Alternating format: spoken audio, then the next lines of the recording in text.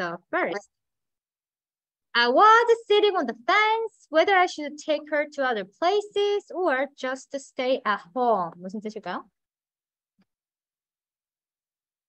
그냥 집에 있을지 좀 어른데 다른 데 데려갈지 고민했어요. Sitting on the fence 하면 여기로 갈까 저기로 갈까 고민했어요. I decided to take her to a zoo. 그녀를 주에 모시고 가기로 했습니다. May sound strange. 이상하게 들릴지도 모르지만 I found this movie heartwarming and touching. 이 영화가 마음이 따뜻해지고 감동적이라고 생각했어요. 라고 적으시면 되고요.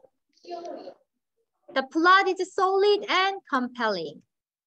스토리가 탄탄하고 설득력이 있었어요. 그러니까 뭐야 갑자기 저희 주인공 왜 저래가 아니라 아 그치 주인공이 그럴만 하겠네 이런 설득력이 있는 게 좋은 내용이 되겠죠? You are sentimental. 감성적인 것 같아요. 어, 이렇게 You came across a sentimental guy. 감수성이 풍부한 사람으로 보여지네요. 이렇게 잡아볼게요. You came across a sentimental guy. I used to be, but now I'm cold-hearted and cool-headed. 예전에 그랬는데 지금은 마음이 차갑고 냉철합니다. 이성적입니다. 아, he came across 여기가 She came across as a crying baby. 그녀는 엄살 부리는 사람 같아요. 이런 표현이 있었고요. 어, she got through tough times. 자, go through랑 get through 차이를 갈 거예요. 다음 시간에. She got through tough times. 하면 그녀는 어려운 시간을 극복했어요. 지나왔어요가 됩니다. Seven years ago, he had to be hospitalized for a month.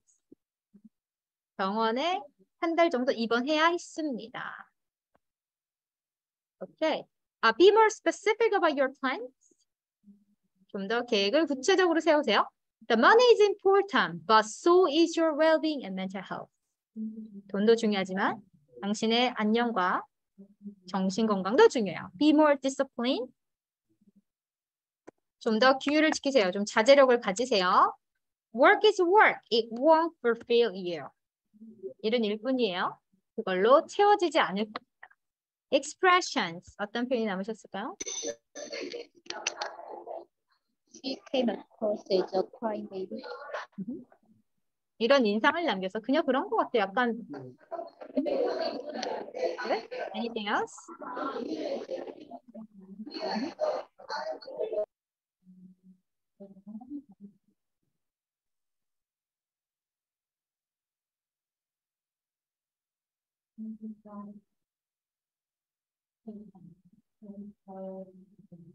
Mhm. Anything else?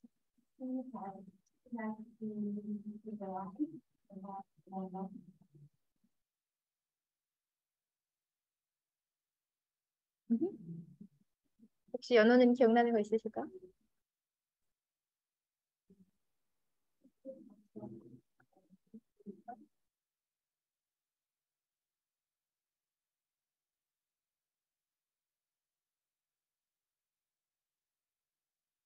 자, 이 정도로 마무리해볼까?